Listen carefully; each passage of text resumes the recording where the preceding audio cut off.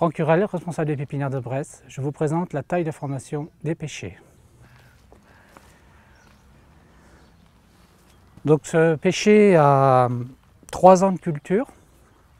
On l'a rempoté au mois de février, racine nue. Et là, euh, il faut qu'on lui fasse une taille de formation parce qu'on ne recherche pas à faire du fruit, on recherche à faire du, verre, de la pousse. Hein.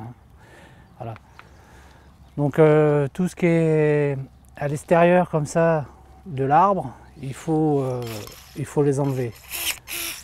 Et tout ce qui a un, petit peu de un petit peu de branche aussi à l'intérieur pour voir un peu plus de lumière. Donc euh, voilà. Donc voilà, là il me reste 5 euh, branches qui sont les branches maîtresses et ça va donner ma, ma charpente.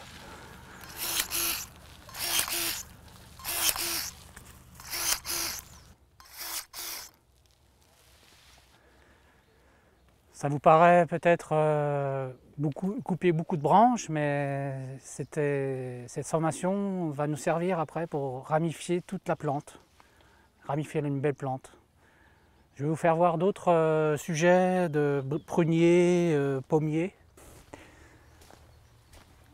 Voilà, je vais vous présenter la même chose que tout à l'heure, une taille de formation sur un prunier.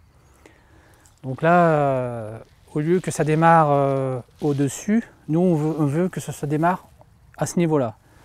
Donc euh, je vais le tailler sévèrement. En lui donnant une, forme à l'arbre. La taille de, de, la formation du prunier étant terminée, je m'aperçois que sur le tronc il y a des gourmands qui vont épuiser la plante. Donc euh, je les enlève.